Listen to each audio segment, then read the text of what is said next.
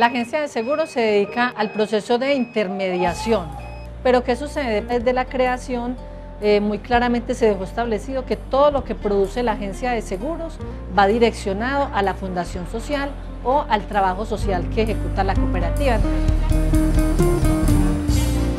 Cogranada es un aliado que no solamente nos apoya con el respaldo de los seguros, sino que sabemos que todos estos recursos adicionales que le llegan a la Fundación Social Cogranada son recursos que se vuelven a reinvertir en las comunidades y eso es lo que queremos hacer desde las administraciones municipales, que llegue desarrollo social con todas las diferentes entidades que tenemos en el municipio, en este caso Cogranada, en beneficio y en pro de todas las comunidades.